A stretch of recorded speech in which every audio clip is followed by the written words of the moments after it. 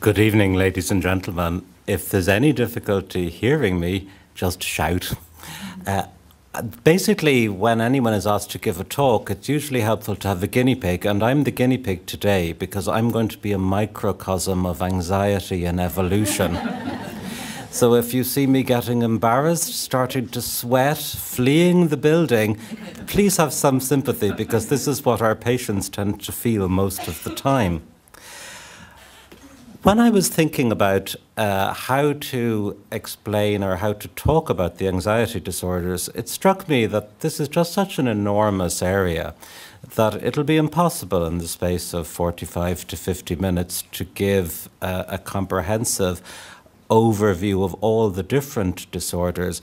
So, what we'll do is look at some of the most common, those that affect our patients and loved ones, I suppose, most frequently, and also spend a little bit of time looking at how to recognize uh, these disorders as well as how to treat them.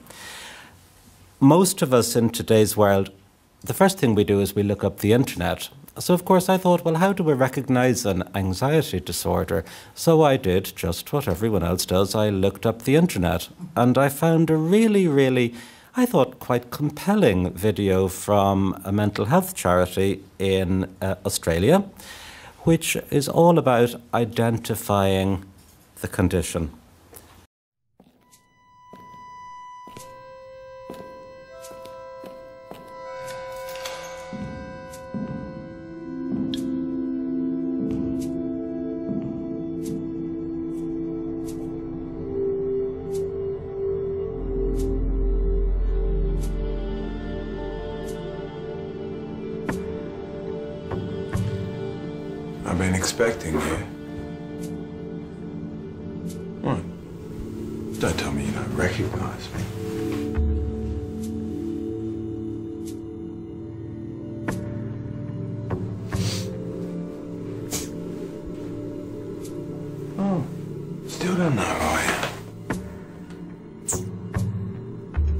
Try and help you with that.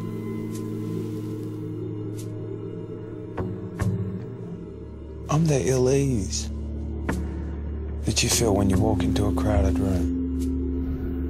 You know, the hot and cold flushes that confuse you when you're already confused enough.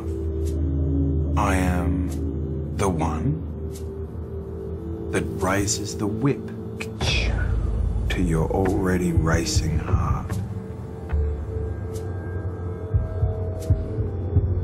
I am the tightening of your chest, the snowballing worries that feel like they might become an avalanche and can just bury you in an instant. My friend, I am the obsessive and I'm the compulsive. I'm the voice, you know the one. It's always questioning, questioning, questioning everything you do, everything you think. And I am every single staring eye that watches you. And every one of those places that you try so desperately to avoid. So, now that we have become acquainted,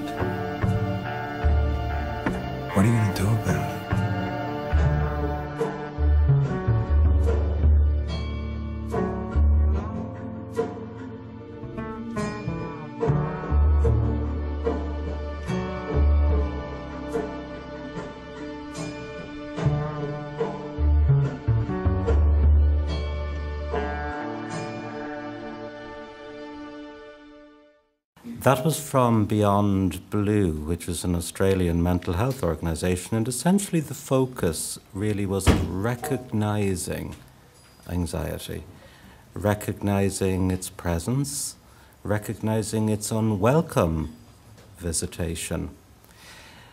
So, if we're to look at the different categories of anxiety, essentially it can be divided into the phobic anxiety disorders and also the other anxiety disorders, which include panic disorder, generalized anxiety disorder, and mixed anxiety and depressive disorder.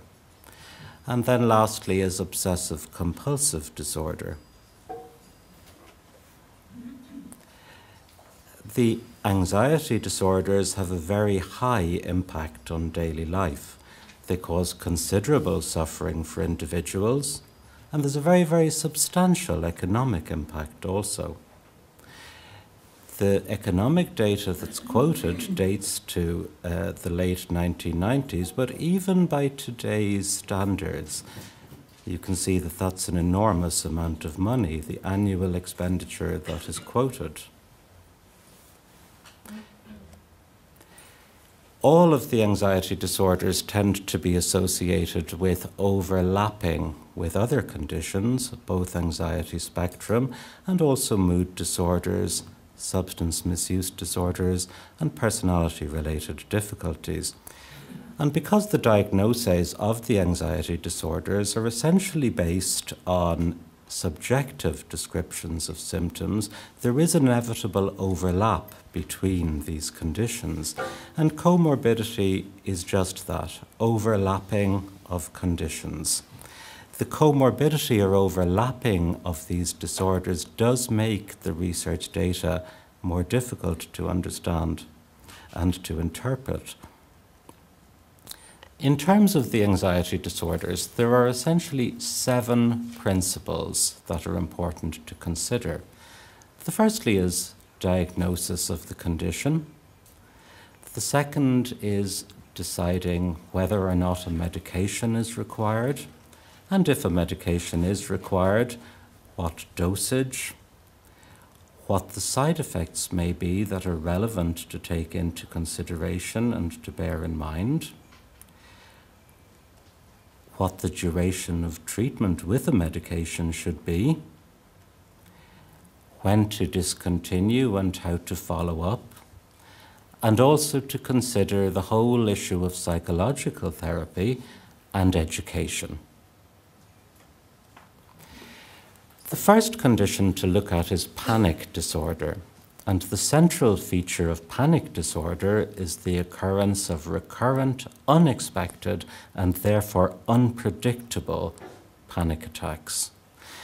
And at least one of these attacks should be followed by a month or more of one or more of the following this persistent concern about having additional attacks. We refer to this as anticipatory anxiety worry about the implication of the attack or its consequences, including a fear of losing control, a fear of having a heart attack, a fear of going crazy, and a significant change in behavior associated with these attacks is commonplace. What are the typical symptoms of panic? Well, there are 13 separate symptoms, many of which will be familiar a whole range of bodily sensations such as palpitations, sweating, shaking, feelings of choking or shortness of breath, feelings of dizziness. Then there are psychic symptoms such as fear of loss of control, fear of going crazy, going mad. These are things that patients commonly report. Fear of dying during an attack, numbness or tingling sensations, or getting hot or cold flushes, for example. As panic attacks develop and become more frequent, the sufferer begins to experience intense worry about the occurrence and the consequence of future attacks. And this fear can lead to avoidance of situations where attacks have occurred previously and a sense that escape from such situations could be difficult, embarrassing, and this uh, can lead to avoidance, which is agoraphobia.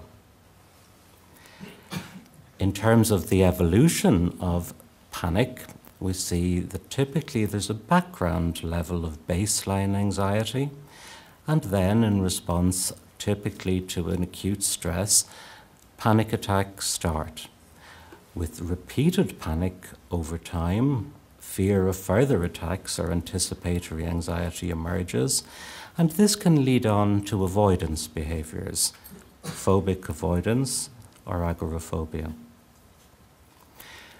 What's more common than full blown panic attacks would be what we call limited symptom attacks or subthreshold panic attacks. And these are very, very similar to what I've already described, except that fewer symptoms are present. And about 40% of those with a diagnosis of panic disorder and agoraphobia have limited symptom attacks, and they're very, very common in the general community. It's important to note that people who experience limited symptom panic attacks are just the same as those who have full blown panic. The distinction between them is really an arbitrary issue that we use clinically, based largely on indicating severity. Panic disorder occurs in between 1 to 4% of the population.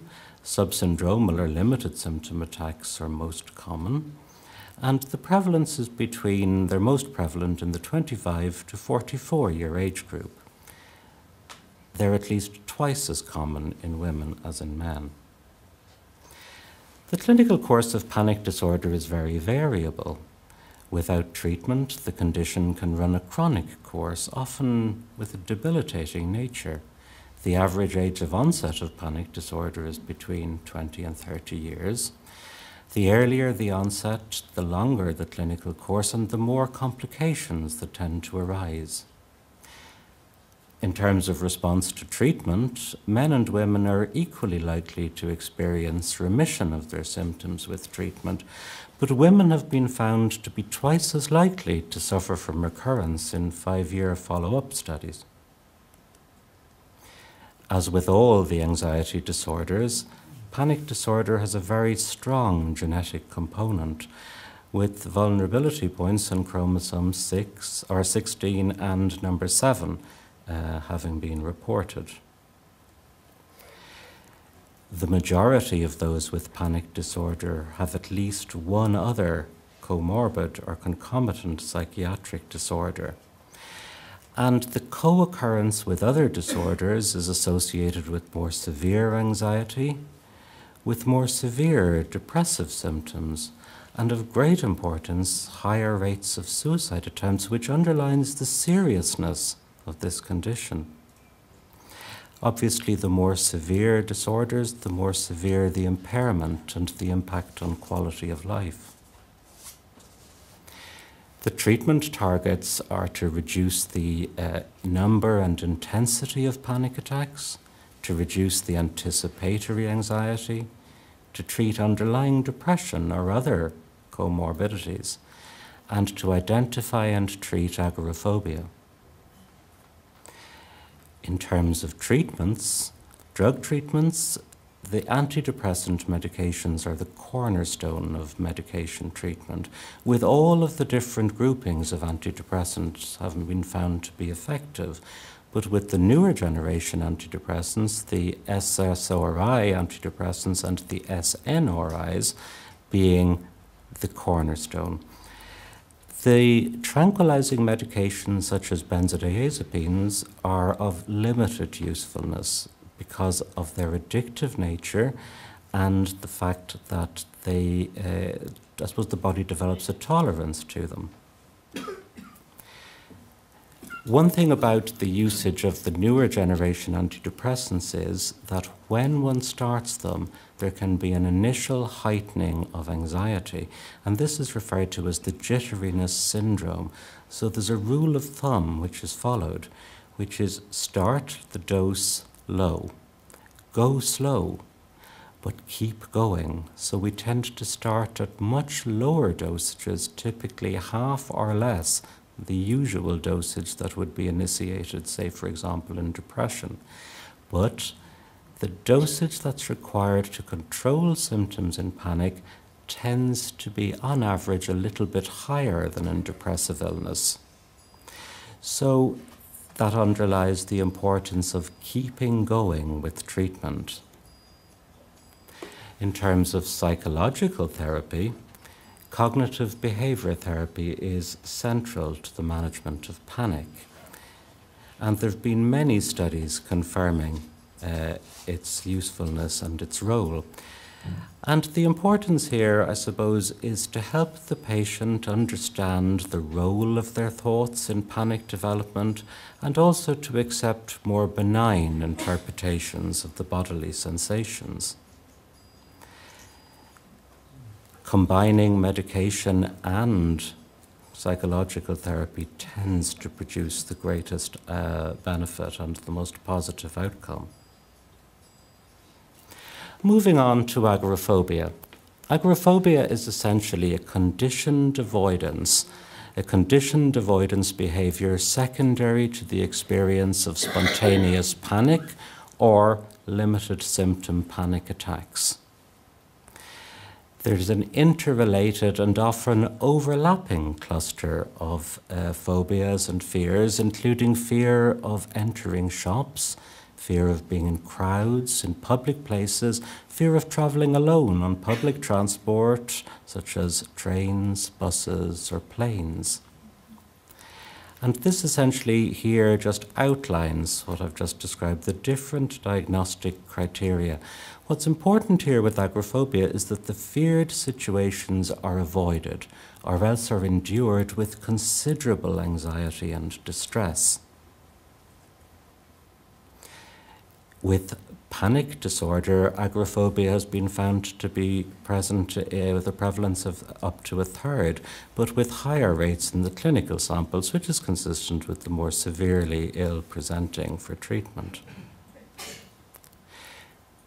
Moving on to social anxiety. Social anxiety disorder is certainly the commonest of the anxiety disorders and it involved a marked and persistent fear of being scrutinized by others in social situations. There's a fear that one's actions will cause the self to be humiliated or embarrassed, and a recognition that the fear is excessive and unreasonable. Exposure to the feared situation produces anxiety and the feared situations are avoided or endured with considerable distress. Clearly, the avoidance behaviour has a considerable impact in terms of day to day functioning, relationships, and there can be quite an impact on routine and also on quality of life. In terms of the clinical symptoms in social anxiety, it's very, very similar to what's experienced in panic blushing, sweating, shaking, palpitations, nausea, diarrhea. Physical symptoms including increased heart rate and blood pressure. Psychological symptoms very maladaptive thoughts regarding social situations, particularly the fear of humiliation and behavioral symptoms, avoidance behaviors, avoidance of situations that one has associated with anxiety or that one is fearful of.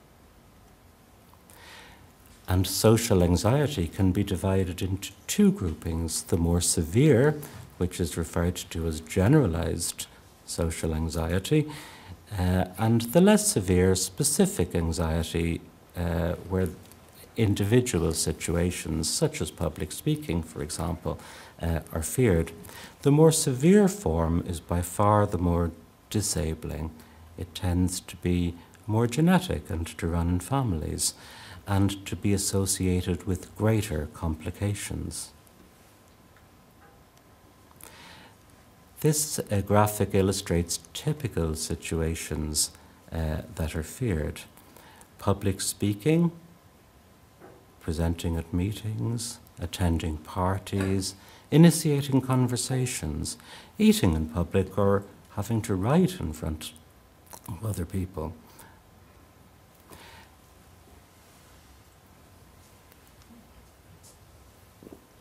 With social anxiety disorder, it presents younger in uh, clinical settings, it presents as commonly in men and in women, although in epidemiological studies, more women have been found to suffer from social anxiety.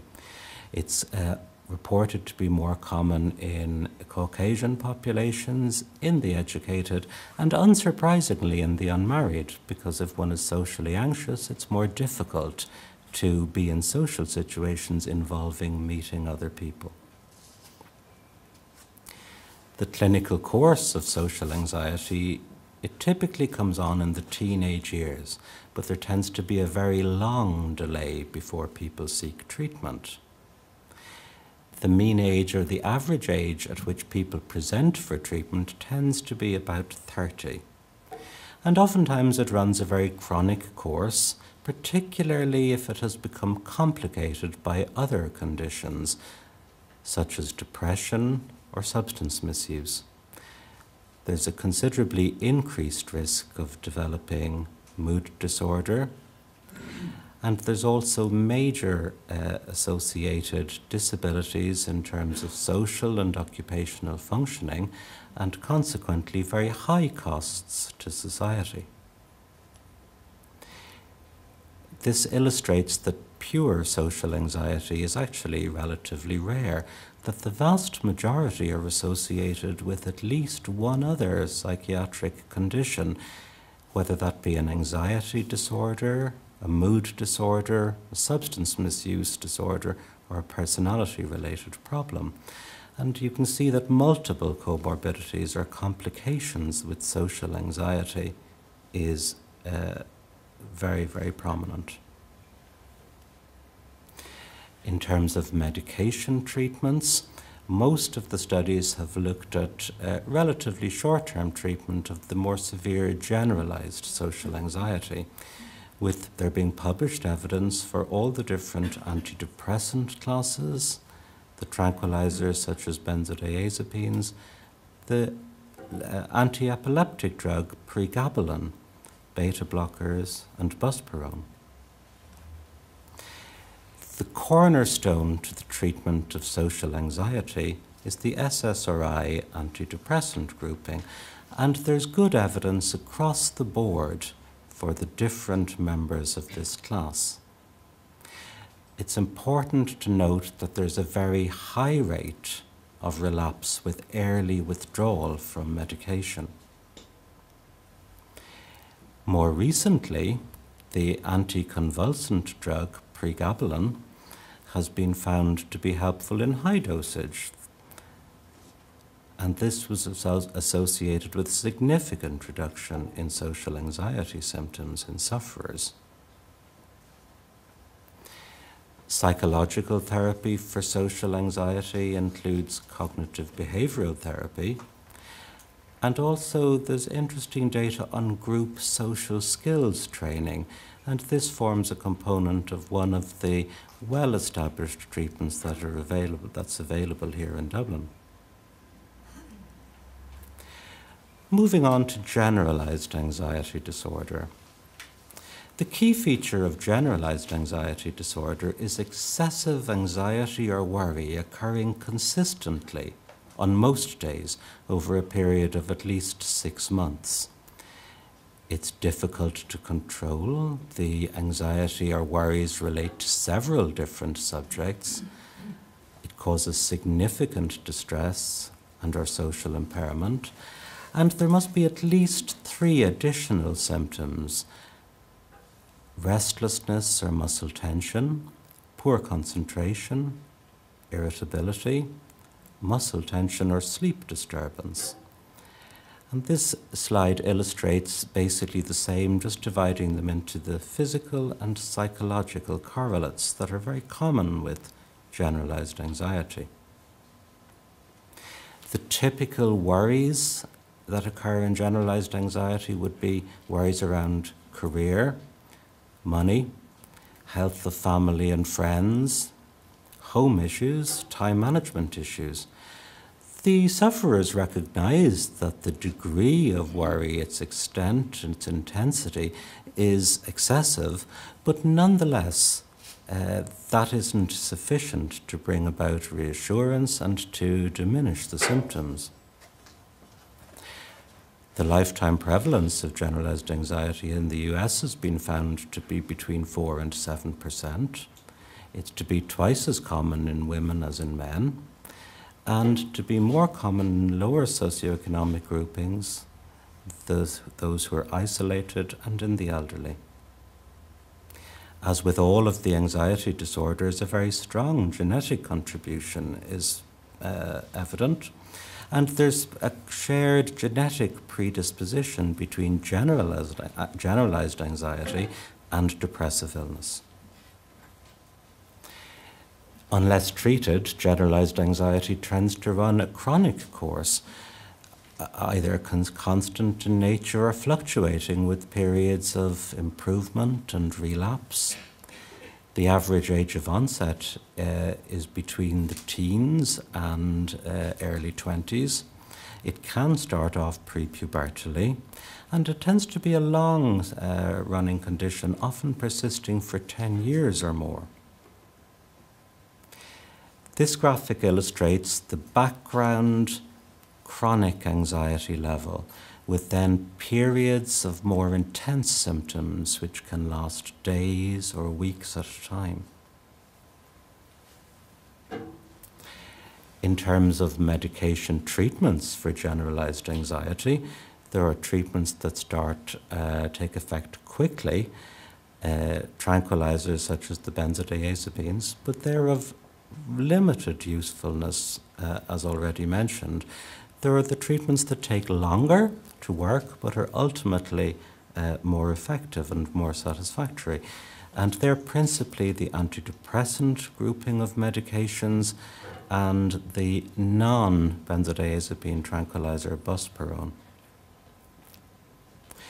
The problem with benzodiazepines essentially is tolerance and addiction sedation, impairment of performance, and the fact that they do not treat comorbid conditions such as depression.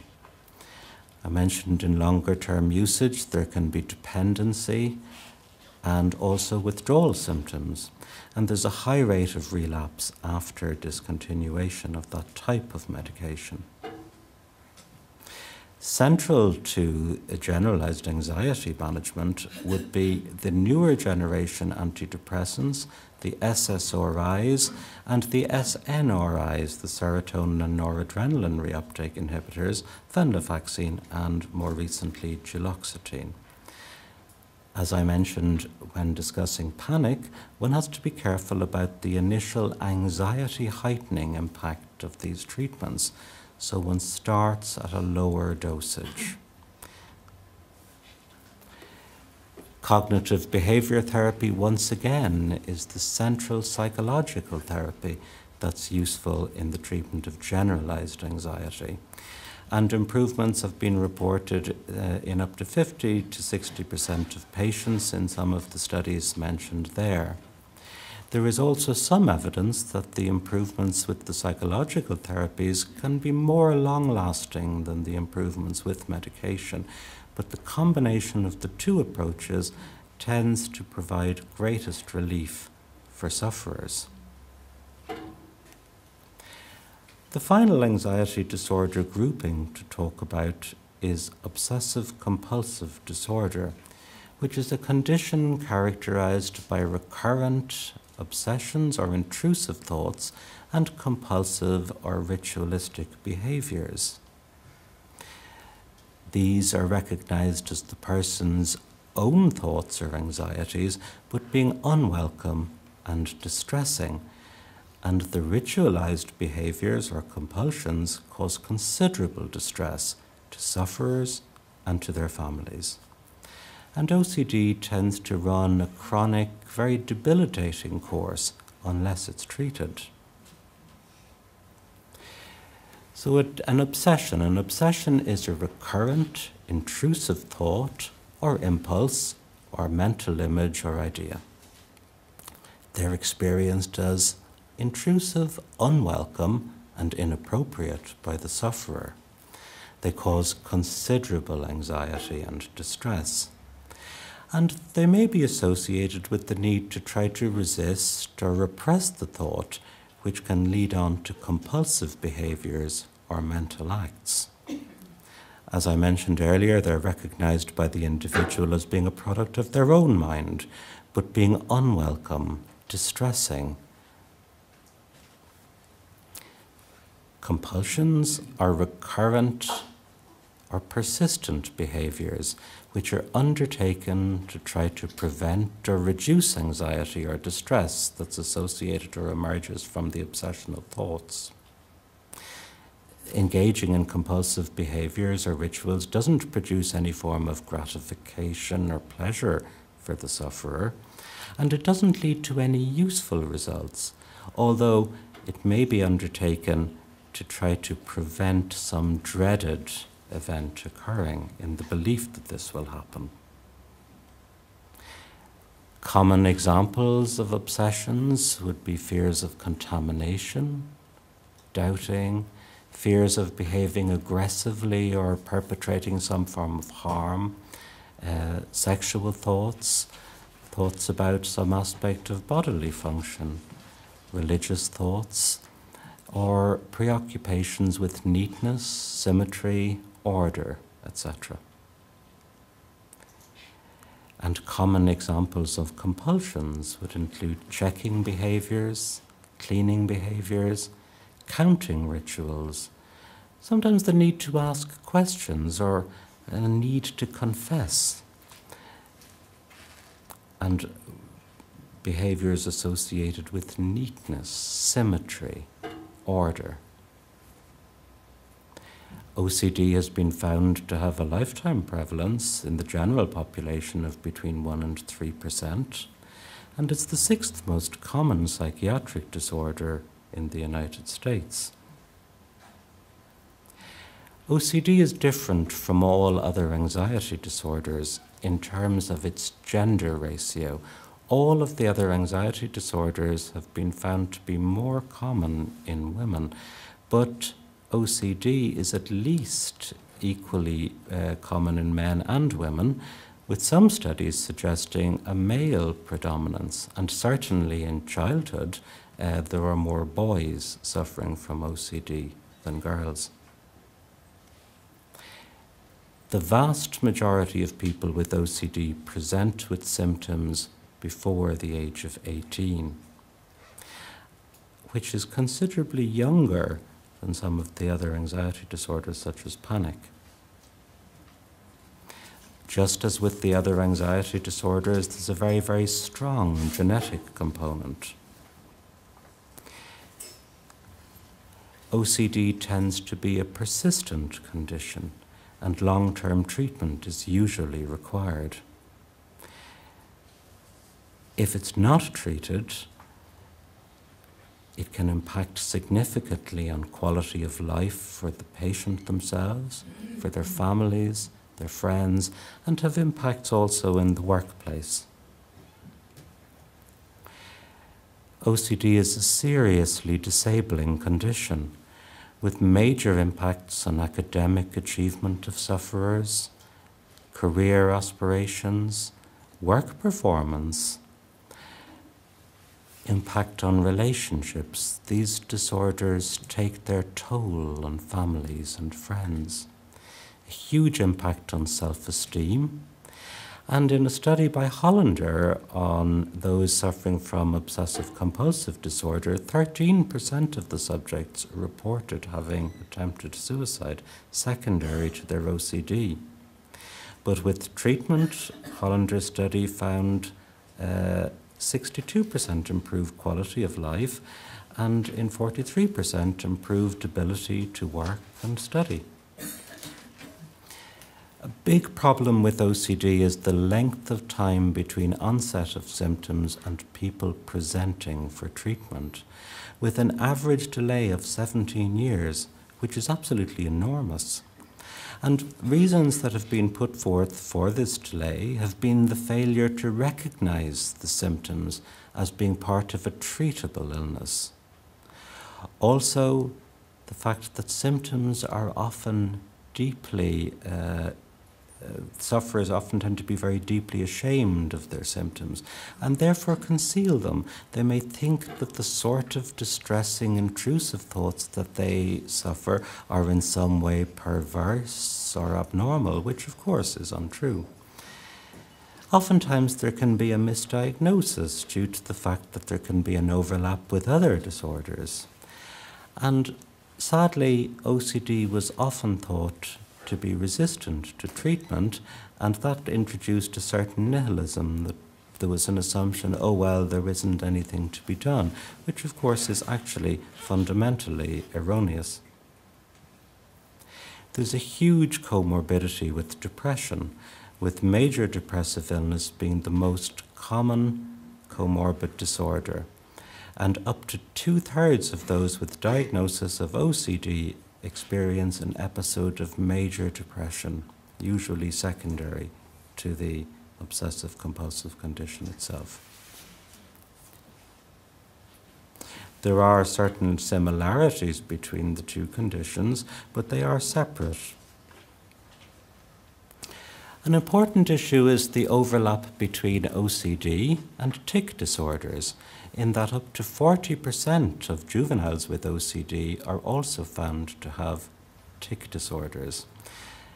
There's an increased rate of Tourette syndrome in relatives of patients with OCD, and about 7% of those with OCD have a tic disorder. The medication treatments for OCD essentially the serotonin boosting antidepressants are to the uh, center of treatment, including the serotonin specific reuptake inhibitors, the serotonin and noradrenaline reuptake inhibitors, the old tricyclic clomipramine, which was the initial gold standard, and the newer drug mirtazapine.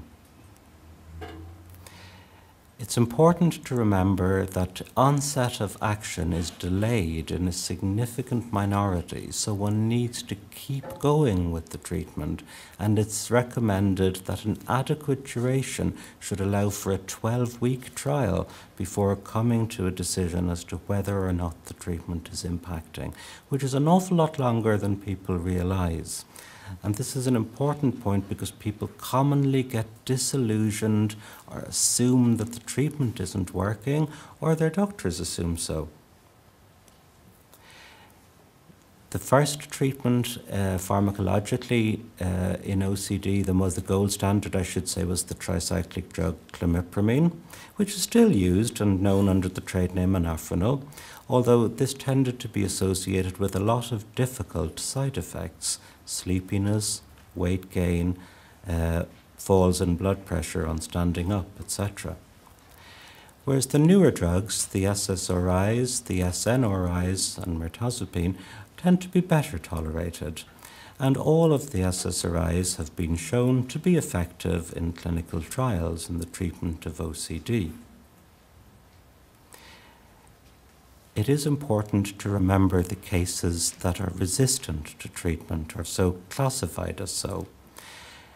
And it is important to know that there are strategies that also help in this scenario. Changing to different medication types, augmenting with atypical antipsychotics, even intravenous medication. One strategy that has been reported to be particularly helpful has been adding in the atypical antipsychotic or the new generation antipsychotic, risperidone. And this has been reported to be especially helpful in cases of uh, patients suffering from horrific mental imagery. They tended to respond fastest to this addition. In cases of tic disorders, uh, where OCD occurs with a tic disorder, adding in an antipsychotic, traditionally pimozide or haloperidol, has been found to be uh, greater in impact than using the antidepressant on its own, and uh, newer generation antipsychotics are also used in this way. Benzodiazepines are occasionally used in the treatment of OCD, one specifically called clonazepam has been found to have a specific anti-obsessional impact. But again, this is not a first line uh, choice because of the risks of addiction and also withdrawal symptoms. And in terms of longer term treatment, the broad range of antidepressants, the SSRIs, and the older drug clomipramine have all been studied. And because of the nature of this condition, long term treatment is commonly required, as symptoms tend to recur within weeks of discontinuing drug therapy in a significant percentage. The older drug clomipramine may sometimes be effective in lower dosage in this maintenance phase, but with the newer drugs, we tend to continue with the full therapeutic dosage that is required to give remission of symptoms. And as with the other anxiety disorders, cognitive behavioral therapy uh, is uh, central to the psychological management of OCD. CBT or cognitive therapy involves identifying and monitoring obsessional thoughts challenging negative appraisals. It involves exposure and ritual prevention, experiments behaviorally, and also modification of cognitive assumptions. Studies have shown that one can get equal impacts with SSRI medications and with cognitive therapy, but combining the two approaches tends to give the most favorable outcome. So that's been a general canter through the uh, broad categories. So we will uh, take a break yes. and it gives people a chance to formulate their questions and we can uh, reconvene. Thank you.